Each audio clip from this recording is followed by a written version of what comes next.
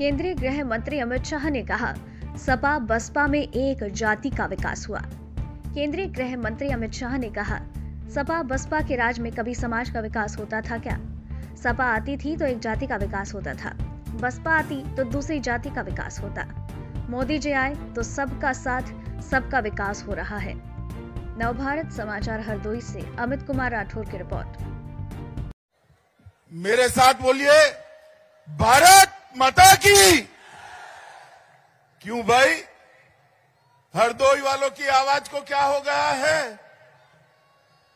मदारी पासी की भूमि के हरदोई की आवाज़ ऐसी होगी क्या?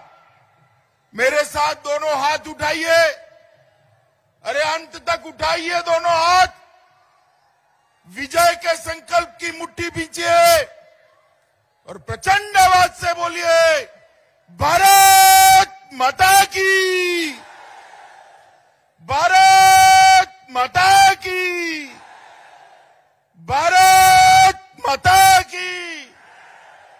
मंच पर उपस्थित उत्तर प्रदेश के उप मुख्यमंत्री श्री दिनेश शर्मा जी, हमारे नेता, यहाँ पर उपस्थित भाई जतीन प्रसाद जी, यहाँ उपस्थित नीरज शेखर जी, अशोक वाजपेयी जी, जिनके आग्रह से मैं आज यहाँ पर आया हूँ, ऐसे भारतीय जनता पार्टी के नेता नरेश अग्रवाल जी, जयप्रकाश रावत जी, अशोक रावत जी माधवेंद्र प्रताप सिंह जी, रजनी तिवारी जी, नितिन अग्रवाल जी, श्याम प्रकाश जी प्रभास कुमार जी, आशु जी, रामपाल वर्मा जी, राजकुमार अग्रवाल जी, अंजू बाला जी, और आज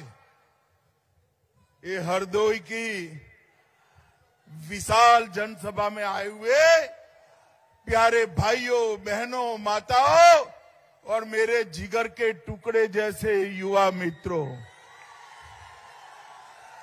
मित्रों, आज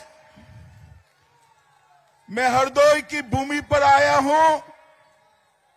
ये भूमि दस अवतार में से दो दो अवतारों की भूमि है, इसीलिए इसको हरदोई कहते हैं।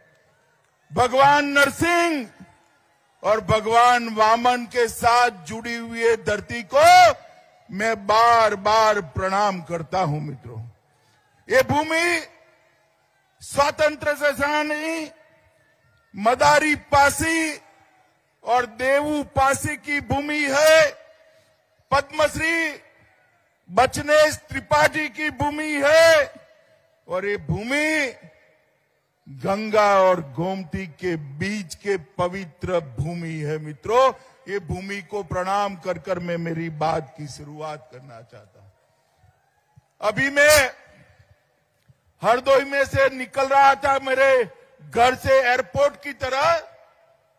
मुझे कुछ जर्नलिस्ट पूछ रहे थे कि, अमित भाई, उत्तर प्रदेश के अंदर क्या होगा?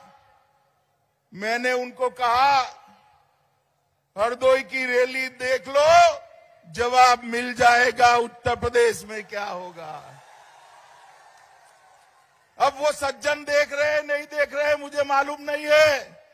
मगर मैं देख रहा हूँ, जहाँ तक नज़र पहुँचती है, मुंड ही मुंड दिखाई पड़ते हैं मित्रों ये भगवा महासागर इस बात का परिचायक है कि फिर से उत्तर प्रदेश में मोदी जी के नेतृत्व में 300 से ज़्यादा सीटों के साथ भारतीय जनता पार्टी की सरकार बनने वाली है। मुझे बताओ हरदोई वालों कोई फुलटेस फुलटॉस गेंद डालेगा तो अच्छा बल, बल्लेबाज चौका लगाएगा या नहीं लगाएगा? ज़ोर से बोलो लगाएगा या नहीं लगाएगा? पीछे वाले बोलो लगाएगा या नहीं लगाएगा?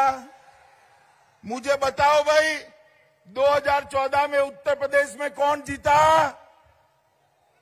14 में कौन जीता बताओ? भाजपा जीती या नहीं जीती? सत्रह में कौन जीता? उन्नीस में कौन जीता? और बाईस में कौन जीतेगा? ये चौथी लगातार विजय सपा बसपा का सुपड़ा साफ़ करने वाली विजय होनी चाहिए। क्योंकि मैं आज सभी हरदोई वासियों को पूछना चाहता हूँ सपा बसपा के राज में कभी सभी समाजों का विकास होता था क्या? होता था भाई। अरे ऐसे नहीं, ज़ोर से बोलो, होता था। होता था। सपा आती थी तो एक जाति का विकास करती थी। बसपा आती थी तो दूसरी जाति का विकास करती थी। मोदी जी आए, योगी जी आए, सबका साथ